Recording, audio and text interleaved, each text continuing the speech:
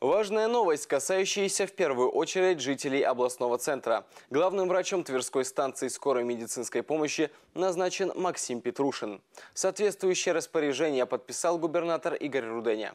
11 августа новый руководитель был представлен коллективу учреждения.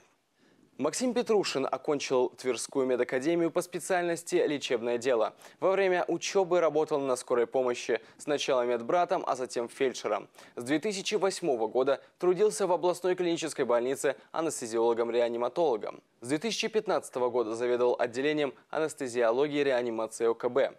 А с 2020 по 2023 годы возглавлял всю анестезиолого-реанимационную службу главной клиники региона.